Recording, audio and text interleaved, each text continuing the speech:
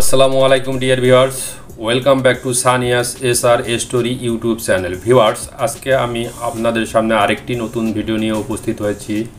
এই ভিডিওটিতে জীবনের অত্যন্ত বাস্তবতার একটি নির্মম চিত্র তুলে ধরা হবে।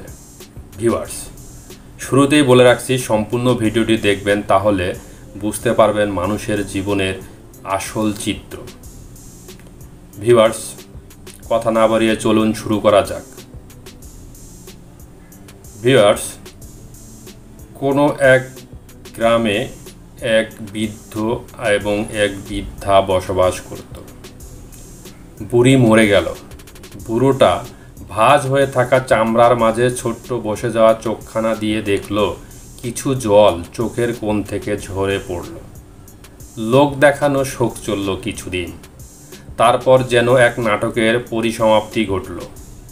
তার ব্যবহৃত শাড়ি নিয়ে মেয়েদের ভাগাভাগি চলল। কেউ বালিশের কাভার বানাবে, কেউ বিছানার চাদর হিসেবে ব্যবহার করবে, কেউ কানের দুল নেবে, কেউ নেবে বালাজোড়া। যার যার নিজের সংসার থেকে যেন একটা বোঝা নেমে গেল। বুড়ো একা বসে বসে দেখে তাদের কর্মকাণ্ড। মনের বাজারে স্মৃতির দর কষাকষি করতে করতে সেটাও এক সময় বিক্রি হয়ে যায় মস্তিষ্কের কোনো এক ফাঁক ফোক করে। এরপর যে যার যার কাজে ব্যস্ত হয়ে যায়, বুড়ো একা হয়ে পড়ে। হাতের লাঠিখানায় ভর করে এদিক ওদিক পায়চারা করতে থাকে।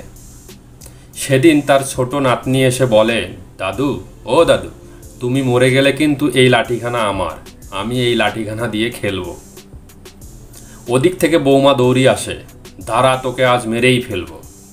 এসব কথা বলতে নেই, বলছি না তোমাকে। অনেকবার নিষেধ করার পরেও তুমি কেন এ ধরনের কথা বলছো? বুড়ো মনে মনে মুস্কি হাসে। যে বৌমার এমন শাসন সেও গোপনে প্রতিবেশীর কাছে গল্প করে। বুড়োটার খালি খালি কষ্ট, মরে গেলেই বাঁচে। সেদিন নাতি তার বন্ধুদের নিয়ে একটা আড্ডা দিচ্ছে আর গল্প করে ছোট ঘরে বসে বসে গল্প করতেছে যে, এই বুড়োটার অবস্থাও খুব বেশি একটা ভালো না। আর বেশি দিন বাঁচবে না। সে মরে গেলে ওই ঘরটা আমাদের, তখন আমরা ওই ঘরে বসে জমিয়ে আড্ডা দেব। বুড়ো আকাশের দিকে তাকিয়ে দীর্ঘশ্বাস ছাড়ে। দুই ছেলের মাঝে তো প্রায় দিনে ঝগড়া লাগে। বুড়োটা বোঝা কে খাওয়াবে তাকে? এই নিয়ে। বুড়োটা কিন্তু আজ কারও বাবা নয়, সে কিন্তু বোঝা। তাকে সবাই বুড়ো কোলে, বলেই ডাকে, সম্বোধন করে। সে কারও শ্বশুর নয়, সে কারও বাবা নয়, কারও দাদু নয়, সে আজ শুধুই একটা বোঝা। আজ বুড়োর জন্মদিন ছিল। গত বছর বুড়িটা বেঁচে ছিল তাও একটু পায়েস রেঁধে খাইয়েছিল। আজ সারাটা দিন গেল, কেউ তার খোঁজ খবর করেনি। কে বা খোঁজ নেবে? সবাই তো তাদের নিজ নিজ কাজে ব্যস্ত।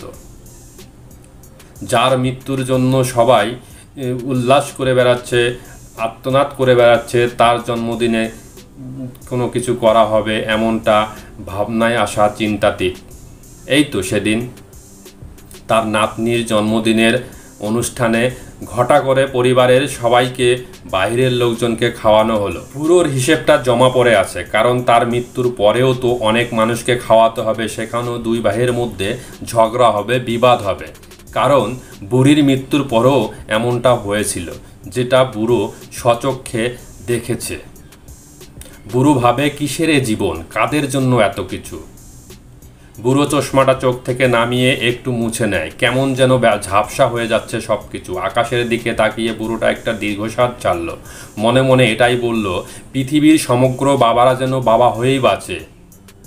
বুড়ো হয়ে বা বোঝা হয়ে নয়। যদি ভিডিওটি আপনাদের ভালো লাগে থাকে, তাহলে অবশ্যই লাইক, কমেন্ট, মন্তব্য করে জানাবেন এবং নতুন নতুন অনুপ্রেরণামূলক ভিডিও পেতে চাইলে অবশ্যই মন্তব্য করে জানাবেন। আর সে পর্যন্ত আপনারা ভালো থাকবেন সুস্থ থাকবেন। আল্লাহ হাফেজ।